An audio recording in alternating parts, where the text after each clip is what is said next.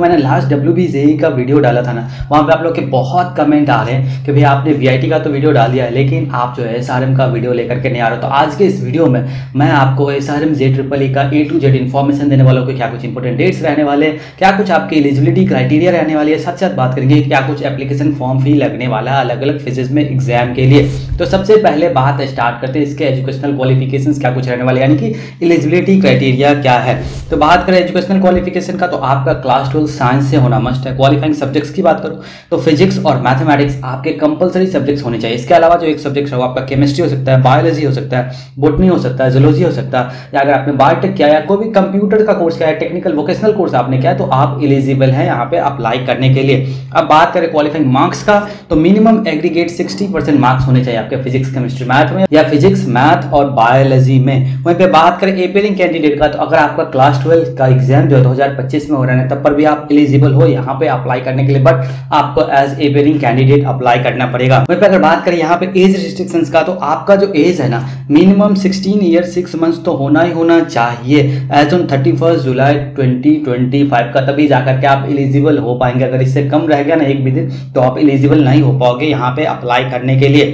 अब बात करते हैं कि यहाँ पे फ़ी क्या कुछ लगता है? एप्लीकेशन फॉर्म फ़ी की मैं बात करूँ तो बात करें जनरल कैटेगरी में या ओबीसी कैटेगरी में या ईडब्ल्यूएस कैटेगरी में तो मेल में आपको बारह सौ रुपये का पेमेंट लगने वाला है और फीमेल कैटेगरी में भी बारह सौ रुपये का ही पेमेंट करना पड़ेगा। वहीं पे एस सी और पीडब्ल्यू कैटेगरी की बात करूँ तो यहाँ पे भी आपको बारह सौ रुपये का पेमेंट जो है करना पड़ेगा।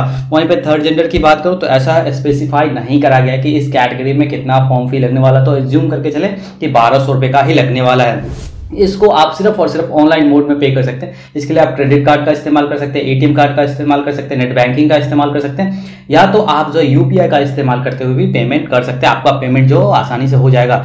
अब बात करते हैं S R M J triple E दो का कौन कौन से इंपॉर्टेंट डेट्स रहने वाले हैं। तो ऑनलाइन एप्लीकेशन फॉर्म रिलीज़ की अगर मैं बात करूँ तो सेकंड वीक ऑफ़ नवंबर 2024 से आ जाएगा। और इसका जो लास्ट डेट रहने वाला है ना, वो सेकंड वीक ऑफ़ अप्रैल 2025 रहने वाला है फ़ेज़ वन के लिए। वहीं पर फ़ेज़ टू के लिए जो रहने वाला है, ये सेकंड वीक ऑफ़ जून 2025 से आ जाएगा।